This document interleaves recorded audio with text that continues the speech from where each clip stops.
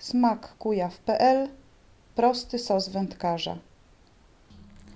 Przygotujemy dzisiaj pyszny, aromatyczny sos czosnkowo-pietruszkowy na bazie śmietany.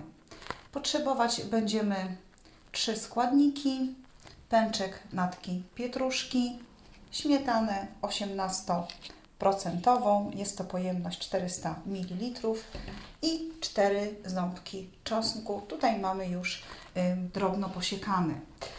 Y, sos nadaje się świetnie do wszelkiego rodzaju pieczonych mięs oraz do smażonych ryb. Można go także wykorzystać do wytrawnych naleśników.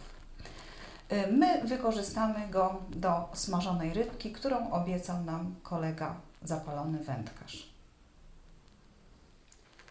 Śmietanę przekładamy do miseczki.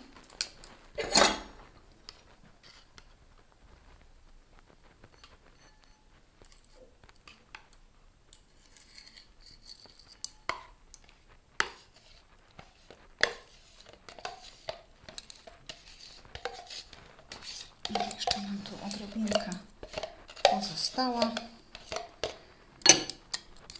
I wrzucamy teraz posiekany czosnek.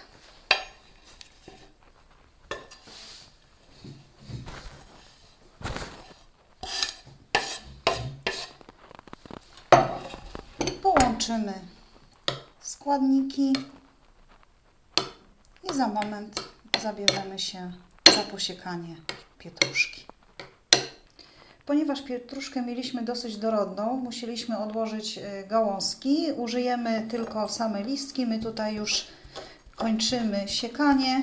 Siekamy dosyć, dosyć drobno, żeby nam się ładnie tutaj wkomponowała w nasz przygotowany sos czosnkowo-śmietanowy.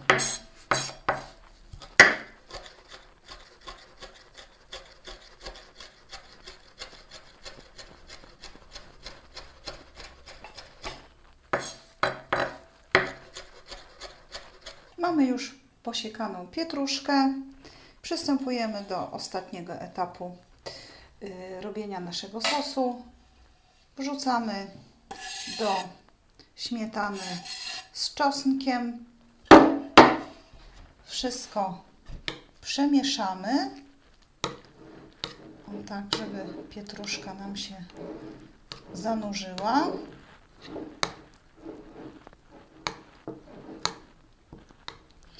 Przykryjemy to wszystko folią spożywczą i włożymy do lodówki na całą noc. Widzicie, że jest to bardzo prosty sposób na naprawdę pyszny, aromatyczny, aromatyczny sos. Czasu wymaga jedynie to, że składniki muszą się ze sobą dobrze przegryźć. Życzymy smacznego.